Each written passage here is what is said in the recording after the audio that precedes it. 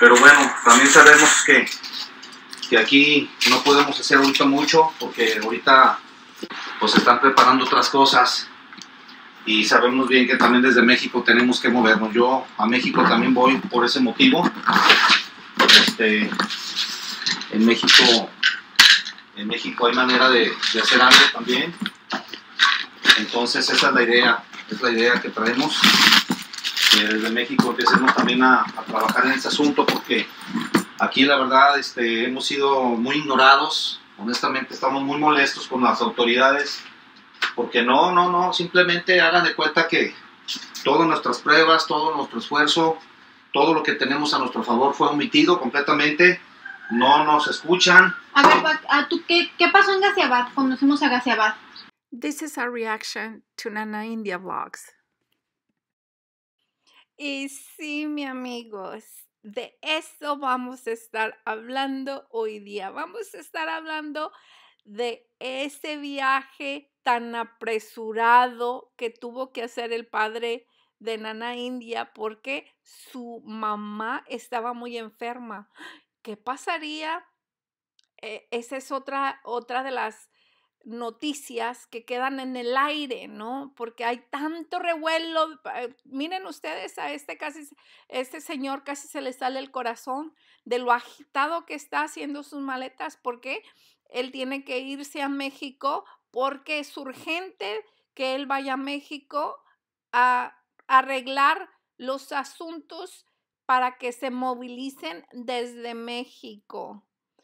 ¿Y qué es lo que ha movilizado, amigos míos? Que, se, eh, que Nayeli se quede en buenas manos. Sí. Se quede en buenas manos con toda esta gente. Y, este, y bueno, pues efectivamente tenemos que hacer lo que desde allá también yo Sí. tengo que ir a hacer lo que parte de esto. Yo me tengo que quedar porque pues tengo audiencias, tengo que seguir este proceso, no me puedo ahorita mover de aquí por el momento. Pero pues mi papá va y viene, ¿no? Mi papá pues también tiene, pues ya saben, ¿no? Mi papá también tiene sus trabajos, sus cosas y hay que arreglar un par de asuntos para poderse regresar otro tiempo. Entonces, este, pues así está la cosa, gente. Bueno, ahorita estamos haciendo maletas de rápido porque ya les digo que fue de última hora.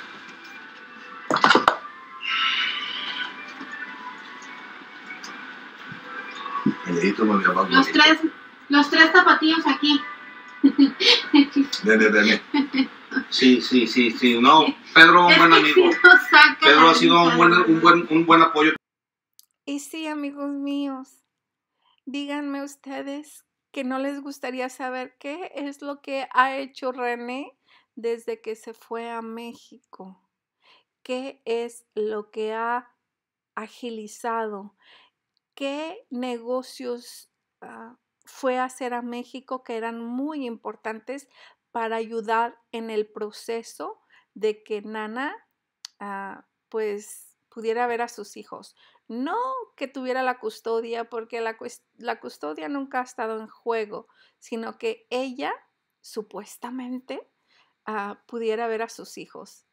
Pero ya sabemos que pues esto era nada más un acto ah, en este circo y ya sabemos que la nariz más grande de payaso pues se la lleva René.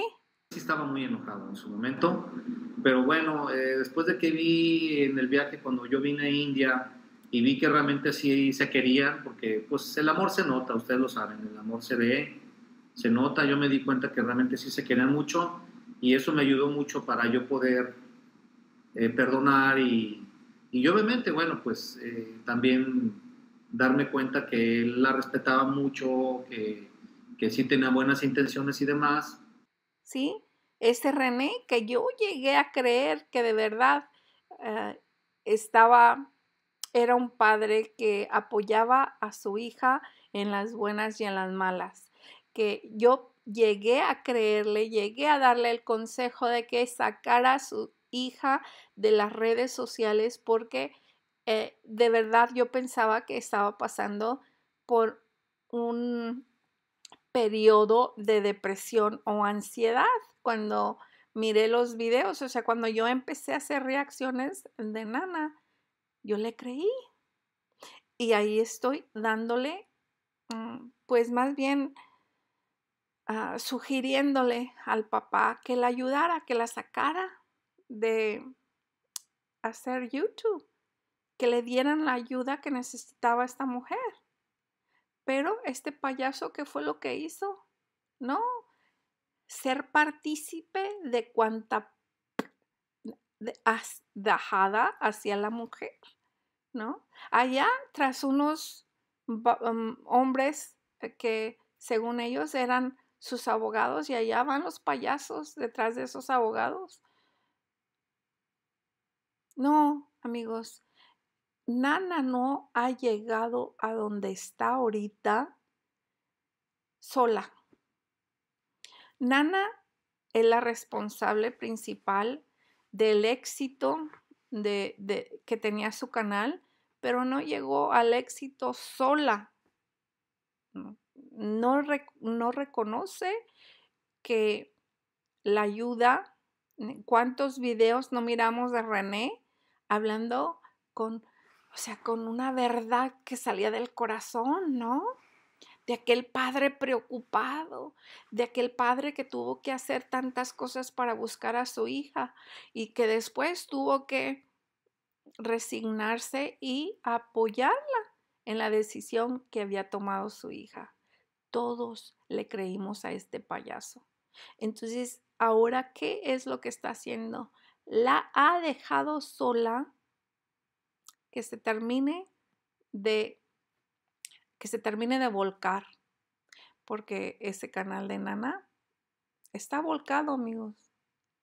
¿Cómo se salva de ese gran circo que montó en la India en complicidad del papá? ¿Cómo va a venir ahora el papá a ayudarla a salvar ese canal?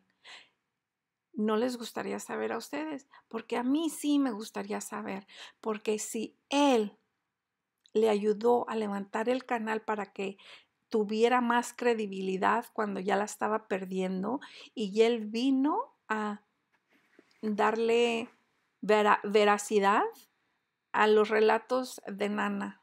Y allá estaba él grabando sus, sus ah, grabaciones, o sea, sus clips para dar su versión de las cosas. Y allá estamos nosotros. Bueno, yo por lo menos como penja de estarle creyendo a este papá sufrido y que, amoroso, que amaba a su hija por sobre todas las cosas. ¿Dónde está ese papá? Ese papá lo único que fue fue un convenenciero que sabía que le estaba entrando dineral a su hija y se subió a ese barco para después dejar ese barco que se hundiera solo y ese barco va de picada. Ese es un Titanic, amigos.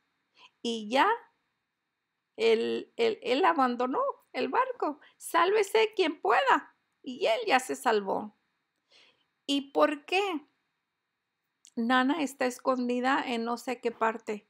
Porque, amigos míos, eh, en México es otra cosa en México, alguien conoce a René, alguien conoce a sus hijos, alguien conoce a la madre.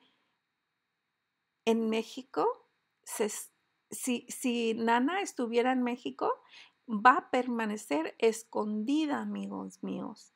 Por eso, Nana no está en México, porque va a tener que estar a oscuras, va a salir siempre de noche, porque alguien la va a reconocer la que trabaja en el mercado, la del café, la de los tacos.